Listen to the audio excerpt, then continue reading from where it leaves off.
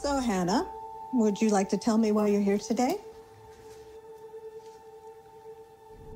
I should have been so happy.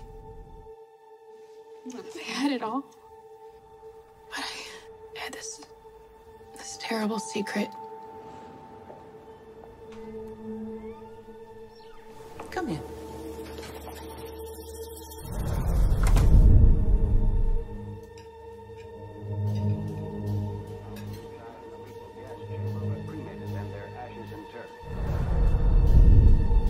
Happened with Mike?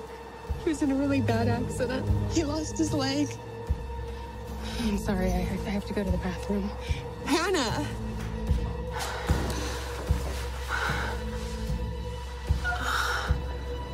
I formed the Onania Club.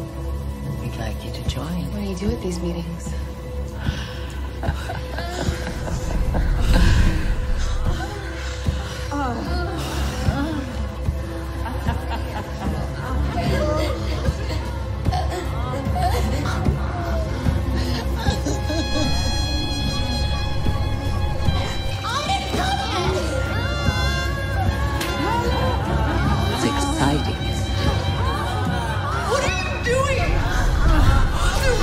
Wrong with ever gonna come again. I'm completely dried up.